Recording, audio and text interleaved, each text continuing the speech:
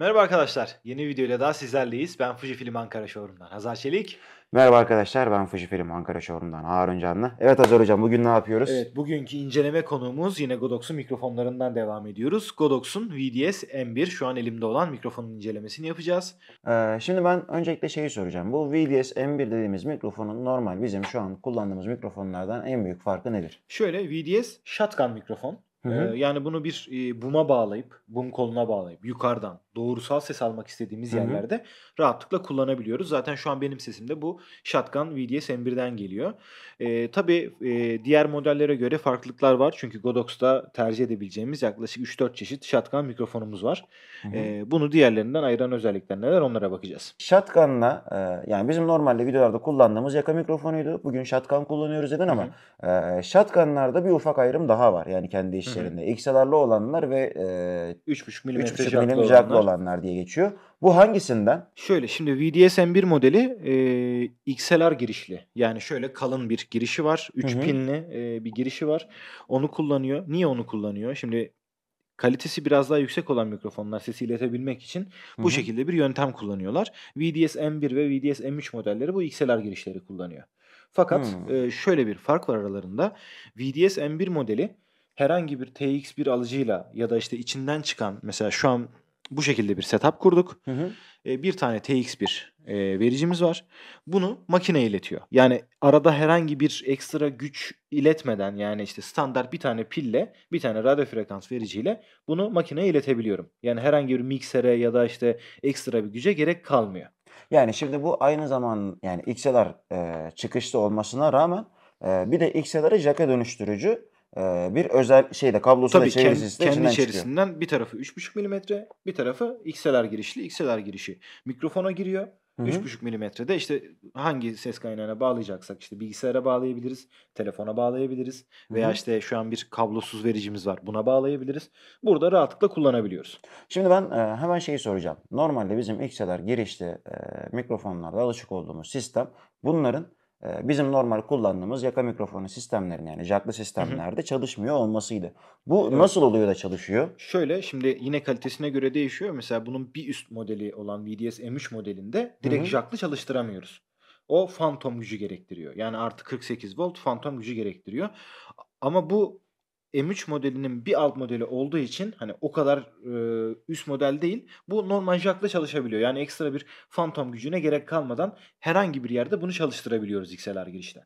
Yani biz bunu e, fantom gücü desteği e, şartı olmadığı için hem normal 3.5 milim jacklarda Aynen. hem de XLR sistemlerde rahatlıkla kullanabiliyoruz. Tabii yani istersek ses kartına bağlayalım veya işte ses kartımız yok telefona, bilgisayara, e, herhangi bir radyo frekanslı vericiye bağlayabiliyoruz bunu. Hmm. Ben peki sana şey de soracağım. Şimdi bizim normalde makine üstü kullandığımız shotgun mikrofonlarda hep böyle bir e, kardioid yapıdan bahsedilir. E, bunda zannediyorum değiştirilebilir bir kardioid yapı var. Tabii. E, o nedir? Ondan bize Şimdi bahseder kardioid biraz yapı da? şu, e, mikrofonun içinde bulunan paternlerin, e, paternlerin e, sesi nereden aldığı ile ilgili. Özellikle shotgun mikrofonlarda, gelişmiş shotgun mikrofonlarda Hı hı. bu özelliğe özellikle dikkat ediyorlar. Çünkü mesela şu an hyper kardioid dediğimiz sesi hem yan taraftan alabiliyor, hem yukarıdan alabiliyor, hem sağdan alabiliyor. Bu şekilde bir ses alma yapısı var. Ama kendi üzerinde bir tuş var. Hı hı. Hyper kardioid'den düz kardioid'e geçtiğimiz zaman yan taraftaki sesleri almıyor. Mesela ben Hmm. şu an buradan konuşuyorum. Şu an benim sesimi muhtemelen almıyor. Yani şu an ben böyle konuştuğum zaman normalde benim sesimi alıyor ama Aynen. şu an senin sesini almıyor Tabii mesela. mesela direkt karşıdan konuşmam lazım. Ama yan taraftan konuştuğum zaman sesi almıyor. Yani burada shotgun mikrofonumuzu direkt doğrusal sesleri mi alacağız? Yoksa çevresel sesleri de alsın mı şeklinde iki tane ayarımız var. Ben şu an geri hyper moduna geçiyorum. Hı hı. Mesela şu anki mod sesi her yerden yani yaklaşık 270 derecelik bir açıyla sesimizi alabiliyor. Ee, peki ben şimdi sana şeyi soracağım. Burada ayarlamayı yaptık. Bunun kendi e, güç ünitesi yani güç kısmı var mı? Standart pille çalışıyor. Hı hı. Bir tane pille Normal çalışıyor. kalem pili. Aynen normal kalem pille çalışıyor. Ee, diğer modellerde işte daha üst modellerinde işte Type-C üzerinden şarj olabilen modeller var. Ama bunda kendi üzerine bir tane pille çalışıyor. Direkt normal pilimizi takıyoruz. Ee, bir çivi jackla yani 3.5 Hı milim jackla çevirebiliyoruz veyahut da direkt XLR sistemle çevirebiliyoruz. Aynen öyle. Ee, direkt doğrusal karşıdan veyahut da çevresel seslerle beraber her Tabii. türlü alabiliyoruz. Tabii. çok rahatlıkla alabiliyoruz ve oldukça hani ses kalitesi de oldukça iyi. Eee, zaten XLR girişli olduğu zaman hani bir, eee, mikrofon hani ses kalitesinde güzel iyileştirmeler yapılıyor. Bir de, eee, şeyden bahsedeyim, hani kutu içeriğinde neler Hı var? Bunlardan da Tam onu bahsedeyim. soracaktım sana. Zaten kutumuz bu. Eee, siyah bir kutuda geliyor. Eee, kutu içerisinden bir tane taşıma kılıfı geliyor. Güzel şık bir, eee, yapısı var. Kadifemsi bir yapısı Tabii var. tabii kadifemsi bir yapısı var. Windshield dediğimiz şu, eee, P, F veya işte o sesleri engelleyen, dış sesleri engelleyen bir yapı var. Şunu çıkartalım. Şöyle mikrofonun üzerine takılıyor. Mikrofonun kendi hâli bu. Eee, bunu takmadığımız Bayağı zaman biraz inceymiş Tabii tabii çok ince bir mikrofon. Yani tam işte boom mikrofon gibi kullanılabilir. Şunu geri takıyorum. Bu şekilde taktık. İçinden bir tane, eee, 3,5 milimetre bir tarafı da XLR girişli mikrofona giren adaptörümüz çıkıyor. Bu da, eee, eğer ki 3,5 milimetre jack'ınız yoksa, kullandığınız cihazda daha büyük bir giriş varsa, eee, çivi jack'ı büyütmek için şöyle bir adaptörü çıkıyor. Eee, bunu da kutu içerisine koymuşlar. Yani aslında bunu aldığımız zaman her türlü ses sisteminde kullanabileceğimiz bir, eee, sistemimiz oluyor. Kesinlikle. Yani üst modellerde hani telefonla çok kullanamıyoruz üst modelleri. hı. İşte sadece fantom gücü gerektiren modelleri telefonlarda kullanabiliyoruz ama bunu her yerde kullanabiliriz. Yani jack girişi olan her yerde bu mikrofonu rahatlıkla kullanabiliyoruz.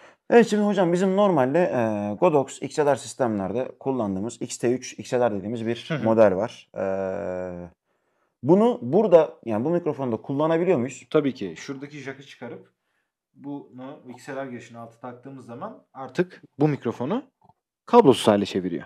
Yani direkt kendi üzerinden kablosuz olarak yani bir, Tabii tabii. eee, 3,5 milim jack'a çevirmeden Aynen direkt öyle. kullanabiliyoruz. Kablosuz mikrofona çeviriyor. Bu da işte Godox'un bu mikrofon ekosistemi içerisinde yer olan bir şey. Hı hı. Eee, Godox'un bütün mikrofonlarını birbiriyle eşleyip kullanma imkânı veriyor bize. Yani aslında biz, eee, böyle bir mesela bizim şu an makinede olduğu gibi RX1, eee, gibi bir alıcımız varsa, eee, bununla direkt oraya bağlantı Tabii tabii yapabiliyoruz. aynen. Yani kablosuz bir şekilde yani illa şu sisteme gerek yok. Yani bunu Hımm. direkt olarak şu cihaza taktığımızda, eee, bunu artık tamamen kablosuz bir sisteme dönüştürüyor.